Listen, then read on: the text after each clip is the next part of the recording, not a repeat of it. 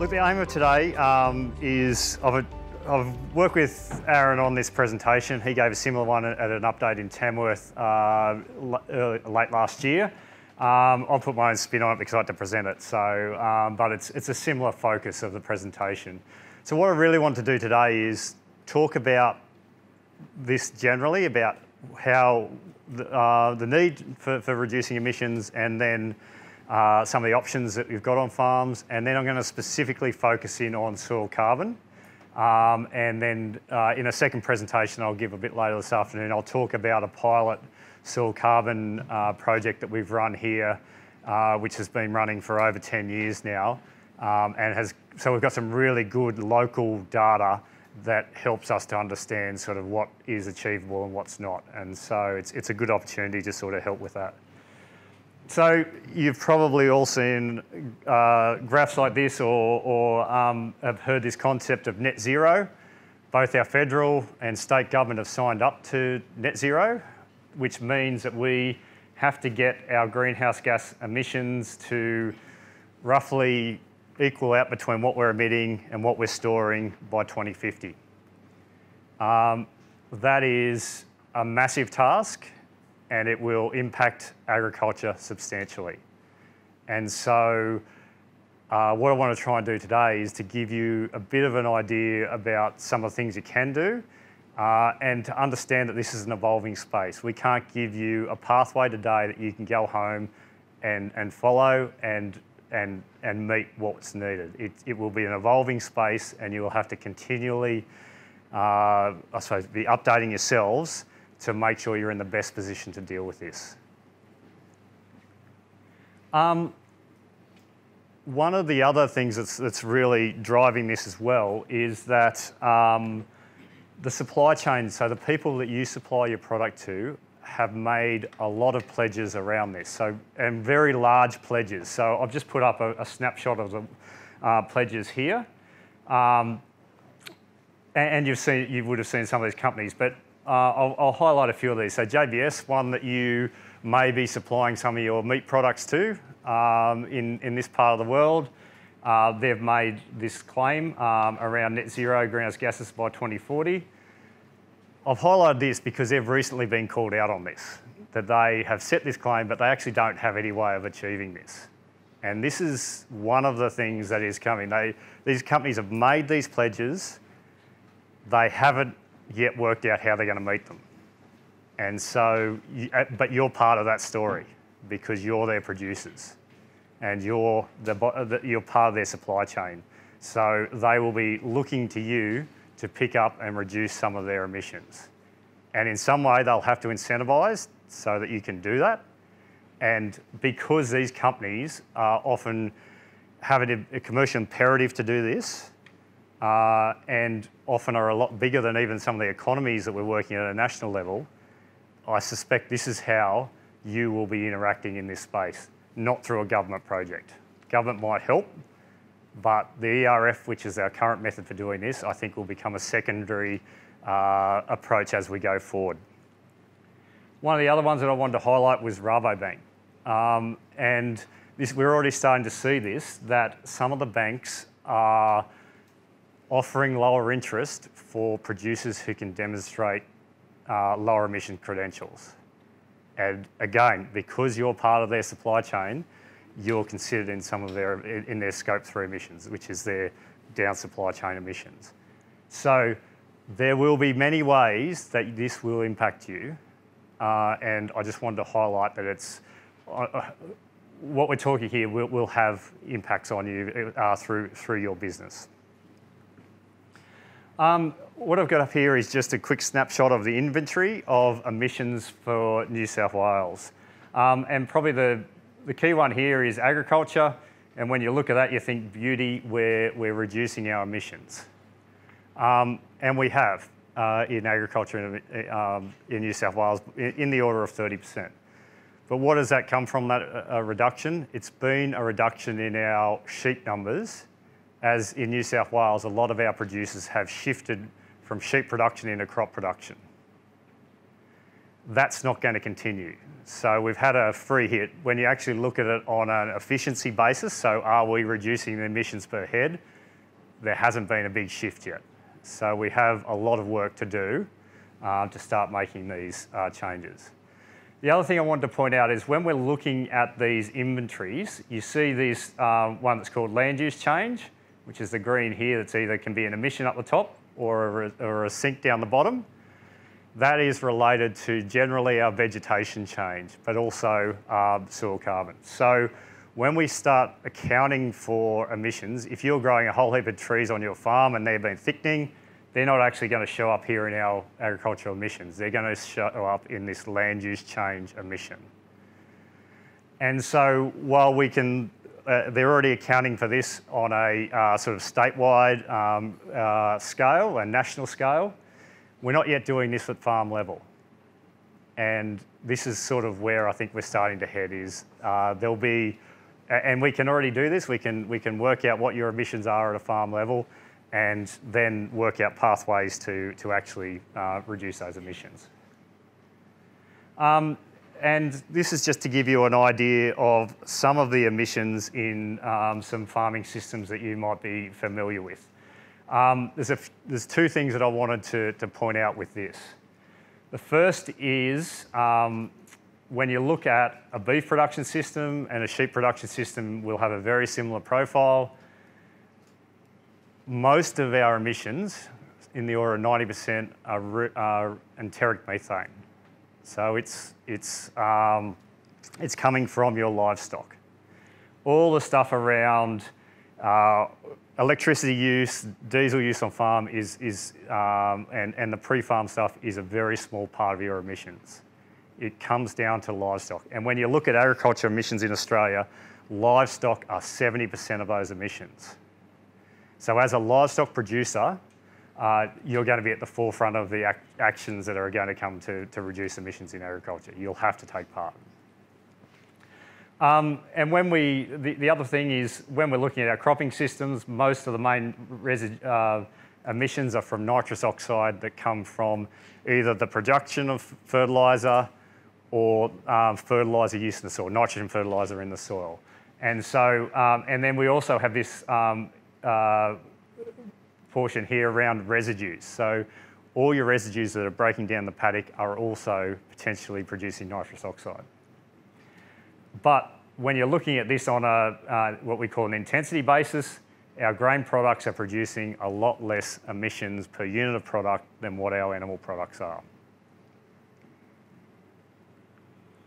So how can we reduce these uh, options? There's, there's, a lot of things that are available. And there's, there's probably two parts to this. There's the avoided emissions. And these are the things that are lowest of risk. So, so once, and, and the reason I say this is, once you've avoided an emission, you don't have to ever worry about it again. You've, you've taken an action, you've stopped an emission, and it's in the past. When we start thinking about uh, sequestration, which has been a very large part of the talk at the moment, that's about looking into the future. So you're offsetting an emission, and then you need to maintain that additional carbon that you've stored for 25, 100 years if we're looking at an ERF project. But all intents and purposes, you need to look at maintaining that into the future for a long period of time. And to you, there is a risk in doing that because the climate's changing, your production system's changing, a lot of things are, are likely, prices and costs are going to change in the future. So if you're looking at what you would do at a farm, these things around avoiding emissions uh, should be a very high priority for you. And so some of the things that you've probably heard about, um, 3-NOP and Asparagopsis, these are supplements that are being fed to animals. So at the moment, they're mainly focused around feedlots um, and they haven't really sorted out good approaches for delivering these in, in grazing just yet, but this is a big research area at the moment. The next one's around the efficiencies of systems, and when we're looking at this from a, um, from a government ERF methods that, that are available, um, those are relatively large scale, um, so probably still not available to you as a producer in this, this part of the world. And then we've got some things that are coming up like anti-methanogenic pastures, so pastures that will actually lower emissions of your animals. And they will start to increase in, in um, they're, they're coming as well. But if, if you were to say you could do all of these things now, but there's not really a way for you to account for it and get, get a benefit. And so that's a, that's a key thing. Um, where these things here, there is. We've got ERF methods that you can take part in and do that. So I'm just going to start to focus in on soil carbon today. Um, the key thing about soil carbon is it's this balance between inputs and outputs. So it's a bank of nutrients and carbon that is in your soil. And uh, those, that input and output relationship means it changes. And so one of the key things we're trying to do with sequestration is we're trying to build it up and store more, which means we're trying to, usually we're trying to increase the inputs, how much organic matter is going back into the soil from additional plant growth. Um, we can limit the microbial turnover, well, that's generally by reducing disturbance. So we're not ploughing it, we're not um, uh, disturbing the soil as much. Um, what is soil carbon? It's not the plant material you can see on the top of the soil, it's the stuff that's less than two millimetres. And you can slice and dice that a few different ways, but we generally break it up into a few pools. Um, particulate carbon, that's the newly formed carbon that's a bit coarser in the soil.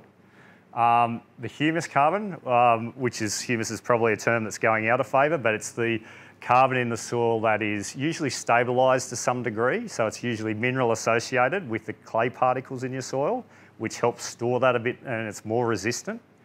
Uh, and then we have the resistant, which is your charcoal, and that can be stable in the soil for thousands of years. But it generally doesn't change much. And Australian soils have a lot of charcoal in them because of uh, previous burning history. So the, the I, I want, if you're thinking about soil carbon, there's a few things that you need to understand is that when you're looking at the potential for a paddock, one paddock is not the same potential as the next paddock or the next farm over. There's a unique set of uh, circumstances in each paddock which determine how much carbon you can store. Um, so the first thing that determines that is your, your soil type which is primarily the clay portion of the soil, which helps to bind that organic matter, um, and also the mineralogy, so the types of clays in the soil, which um, it's associated with how many binding sites you've got for that carbon to, to actually um, link onto. The next thing, uh, and so we, we, we might call that as a potential. So a soil type has a potential of carbon that it can store. Clay soils are higher, sandy soils are much lower. Um, then we've got this attainable carbon, which is driven by the climate.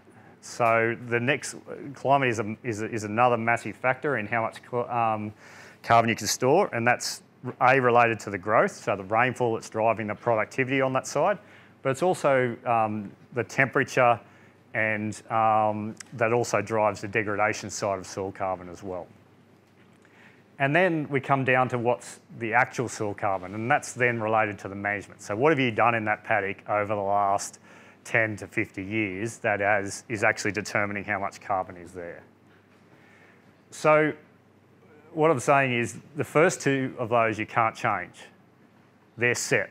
The only thing you can change is your management. So a large part of when you're starting to look at this massive variation in soil carbon across your landscape is driven by those top two. Your management is usually a smaller amount and it's a slower moving uh, amount that you can actually affect soil carbon. So people are talking about really high rates of change or big differences in soil carbon, they're actually generally looking at error around the top two, not so much what's actually changed due to management. Um, this is a little bit, uh, looks uh, a little bit busy, but I just want to, this point is a, is a key concept when you're looking at soil carbon, is that it has um, a plateau that you reach. So this is from the Rothamsted experiment that's in the UK. So uh, a farming system experiment that's been running for 150 years or something. And so they've used this data to build um, a lot of our soil carbon models. And what we find is we have this initial period of change in, in soil carbon that's often quite rapid when we change land management. And in this case, it was putting on compost. Um, but eventually over time, as you're putting that same amount of compost on year in, year out, you eventually reach a new equilibrium and that plateaus out.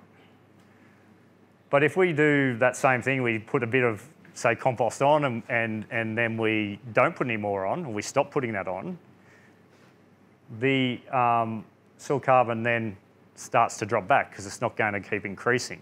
And you're not even going to start to maintain it at that same level unless you start to put, keep putting something back into it. So, and eventually you get back to your state of where you were before you started.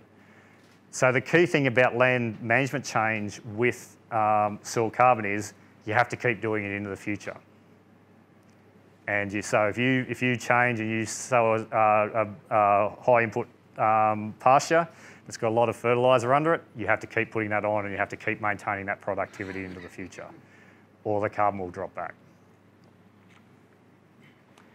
Um, there's, there's, a bit of detail here, but the key thing that I wanted to show is that we can often have a lot of variability in soil carbon at the paddock level. So this is from a site where we did um, some grazing trials over at Panuara. We also looked at soil carbon under that um, over a number of years. We just divide, divide this paddock up into three zones, a low production zone, medium and high, um, which is shown by the different colours down here. Um, but the key thing is the, the highest production areas had almost double the soil carbon of the low production areas. Um, and that variability is quite a lot. So when you might be hearing someone saying that they're coming to measure soil carbon on your place and they're going to put seven cores um, in, a, in a zone across your paddock, um, the, it is unlikely that they are going to be able to cover the variability in that paddock you need a high level of cores to build certainty around how much carbon you've got in different. And this variability is one of our biggest challenges in actually documenting how much carbon we've got and why measurement is such a challenge uh, with this and, and why at the moment there is very few projects that actually have um, uh, uh, been awarded carbon under the ERF at the moment. So I'm just going to go through a few of the, the common land management practices that we have uh, for that we know um, uh, or people are interested in to build carbon. So this is um, converting cropping to pasture. We have a high degree of confidence that this works. Um, we've done a lot of studies. So we did um, some work under the National Soil Carbon Research Project in this area where we sampled 400 odd paddocks from, um, from Hay to, to Oberon. And where we had mixed farming systems, uh, over, I think there was about an average of five years those phase farm, uh, those, those pasture phases were in. And over those five, um, five years, it was about 0.78 tonnes of carbon per hectare you could store over that five year period. Again, when we look at the soil carbon pilot that I'm going to talk to uh, here is uh, about, in this region, it was about 0.74. So pretty consistent. We can predict that. Five years is, is an easy amount and we have confidence in that.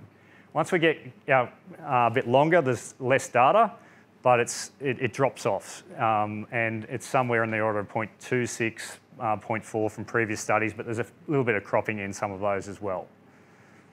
So um, if you're looking to convert from uh, cropping to pasture, there, there is an opportunity there. Um, grazing management is, is, is a very popular one uh, and gets promoted a lot. Um, we've just um, completed a, um, a meta-analysis on this. So what a meta-analysis is, is where we look at all the studies that have been done in the past in Australia and we look at how many of those, well, is there uh, a significant change due to management action? The two things we looked at here were rotational grazing versus continuous and then high versus low stocking rate. The interesting thing here is if you look at soil carbon here, so it's not significantly different from zero in either of these, means that we haven't been able to monitor it in experiments in Australia. There could be a few reasons for that. Uh, one, the trials haven't gone for long enough when you're looking at small changes. Um, seasonal variation, and um, uh, also that massive variability that I'm talking about, which means that there's a lot of error around these measurements. But the, when we look at the key things that do drive some of these things, so biomass, herbage mass, cover, there are changes. So we do expect to see um, some change in soil carbon with grazing management.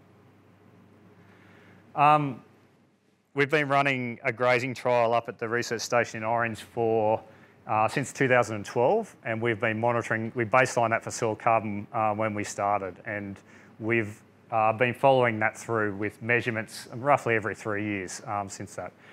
With this trial, we, we set it up to look at different forms of intensive rotational grazing and comparing that to set stocking.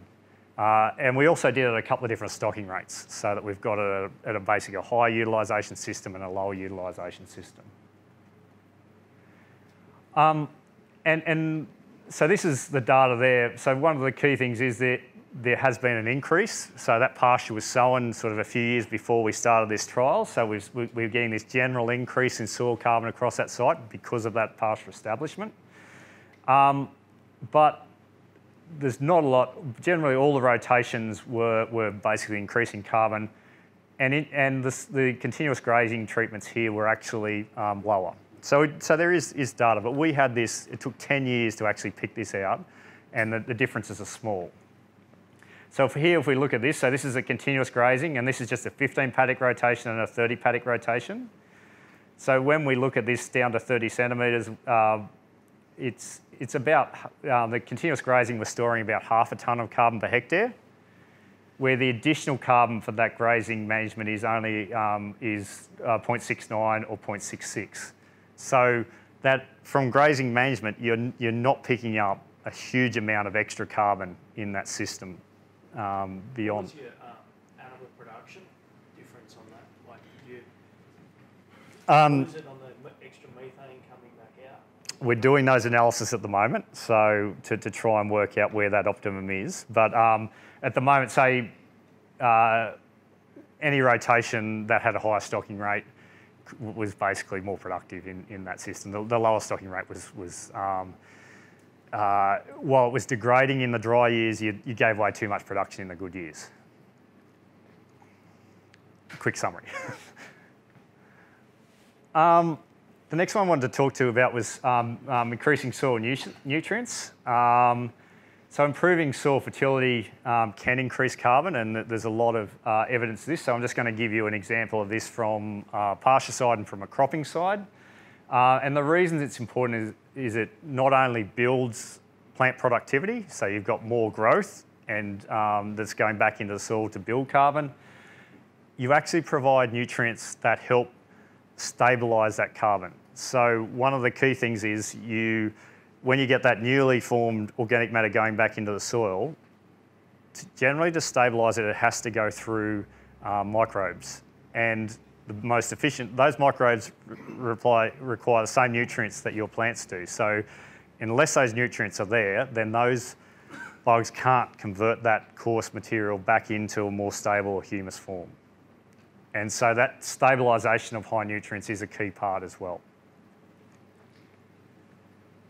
Um, so this is uh, from a long-term experiment. So um, this was a, a long-term phosphorus trial that was run in Ginninderra by, um, uh, by CSIRO. Um, there was a student, Liz Coonan, who sampled this at the end uh, of, that, um, of that experiment. And basically over 20 years, uh, when they looked at no, no phosphorus fertiliser over 20 years compared to a high rate of phosphorus fertiliser, it was roughly about half a tonne of carbon per hectare per year that was stored with that high phosphorus. Um, it also added about 42 kilograms of nitrogen per hectare per year as well from the legumes that were stimulated by, from the use of that, that phosphorus. So uh, it, it, it is, uh, and here it is just looking at the depth profile for that. So most of it occurs at the soil surface, but we also see a little bit that's occurring down the profile as well. But this is a generally pretty consistent um, what we see with different land uses is most of the difference is at the sur surface um, and we don't see as much change down deep. Um, I know there's a lot of claims out there that things, these big things happen deep in the soil. If you're not seeing it happen at the surface, it's very unlikely that it's happening down below. And because there's less carbon down here, there's just less change that can happen as well. So um, I'm not convinced, or I haven't seen any data to say that there's anything special happening at depth that we're not seeing at the soil surface. When we say soil surface, that's the top 30 centimetres. Um, this is a cropping example here where um, they actually um, added additional nutrients. Um, and they added enough nutrients to stabilise 30% of the crop residue that was going back in. So this was done by a guy called Clive Kirkby um, at CSIRO. So um, that plus nutrient treatment um, degraded 76% of a nine tonne stubble over a summer compared to where that additional nutrient wasn't put on, where only 12% of that stubble was degraded. So that additional nutrients help the microbes break that stubble down. Um, over five year period, it ended up being an extra 8.7 tonnes of carbon per hectare, uh, down to 1.6 um, uh, Interestingly, last night I just saw a paper come through um, that's followed up on this work um, five years later. So what they did is they put that nutrient back, um, kept that nutrient going for a further five year, uh, further two years, and they saw that they were able to maintain those gains. But they then followed it for three years after they took the nutrient away, and lo and behold, that stabilised soil carbon reduced. So the key thing about a nutrient strategy is if you're going to go down this way to build carbon, you have to keep doing it. Is that because the bacteria decline? Um, it's, it's about the deficiencies in the soil. So if it, um, that is then turning over and the plants are using that, or if there's a shortage of nutrients in the soil, then the microbes start to use the organic matter to, to access um, the nutrient that, to make it available for plants, for themselves first, and then that cycles back through for the plant. So all of these, uh, and this is what I just wanted to keep highlighting, if you start these land use changes, you have to keep them going. You can't just do something once uh, and hope that it will. The only thing that will is likely to do that is something like biochar, where you're actually applying a very stable form of carbon. Which um, the other thing that they did, uh, I actually converted this from from the, the, the cost of fertiliser, but they basically they thought it was around 500, uh, at the time they thought it was around $250 a tonne of carbon that was stabilised um, in, in input costs. The input costs have basically doubled since that, that um, uh, experiment started, uh, was run. So I said it's about $500 a tonne uh, of carbon to be stabilised if you were putting all those nutrients on. The reality is we're not putting all those nutrients on, we're, we're using legumes and other things to, to provide that additional nitrogen. All those additional they're banked in the soil. So yes, you, you, you, they're building in yields, yes, and you're getting use for those. But this is you have to apply additional nutrient beyond that productivity benefit to keep getting that. You have to have more nutrient in the system if that makes sense. You have to have an excess. Um, I better keep moving. Um, so this one is just from a long-term study, uh, farming systems trial that was done out at Condobolin, where uh, we followed um, soil carbon under continuous cropping, um, perennial pasture, and two rotational systems, one under continuous uh, uh, high tillage and one under um, uh, reduced tillage. Basically, all the um, we we found this build up in soil carbon for uh, 12 years, and then we lost all that carbon within uh, three years. The perennial pasture, which was highest here, was also the highest at the end. But when we looked at it, it was all this particulate carbon that had built up. So when I was talking about that carbon that's coarse and stable uh, in the soil, we're able to pin why it reduced here. It wasn't an obvious climate event. Um, the only thing that I can say is that when we looked at the soil carbon um, in the farms on the same soil type around here, they were all around 1% or lower, and we were up here around 2%. So it was probably substantially higher than that, in, than that environment could sustain. Uh, and it all built up in this uh, particulate carbon. So just um, in summary, um, soil carbon is a high risk uh, emissions reduction strategy because its application is time limited, so you're only getting benefit for a period of time. Uh, the soil carbon needs to be maintained for long periods of time, 25 to 100 years. And the thing that we need to consider is our climate is changing and it is changing quite rapidly. Um, and the environment in 25 years' time alone will be substantially harsher than it is at the moment.